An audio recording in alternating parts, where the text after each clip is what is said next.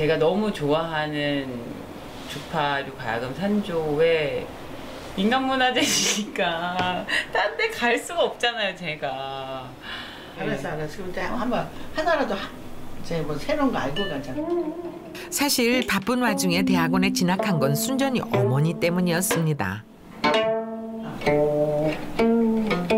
동의를 내는 게 쉬운 게 아니야.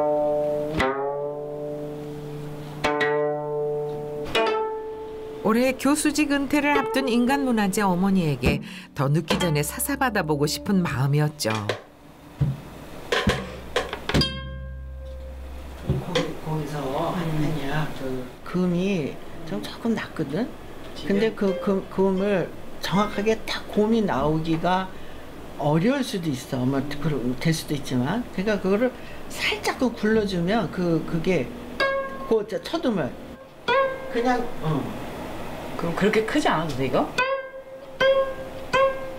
어, 어리 음한 땀이 정성을 다해야 되니까.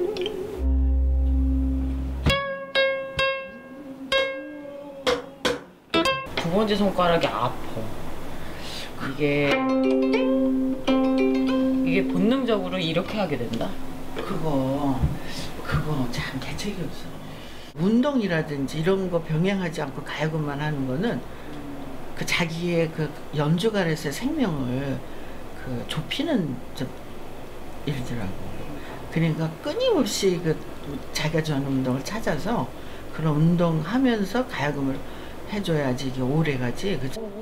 농연을 하면 장력을 버티잖아요. 그래서 이게 뼈가 원래는 이게 일자로 돼 있는 게 정상이잖아요. 근데 이렇게 휘어 있는 거예요. 이렇게 이렇게 휘어 있는 거예요. 똑바로 피신 거 아니에요? 똑바로 핀 거예요. 응. 똑바로 핀 거예요. 이게. 네살부터 시작했으니 한희 씨가 가야금을 잡은 지도 어느덧 32년째. 가야금은 가장 친한 친구이자 피할 수 없는 운명 같은 존재였습니다.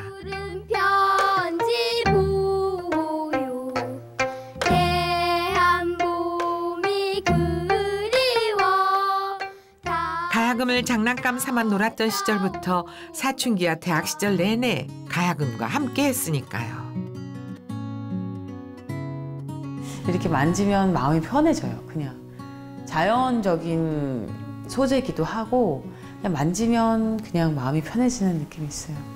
근데 또 그게 마음이 편해지는 것도 있고 그 고통이 또 그대로 느껴지기도 하고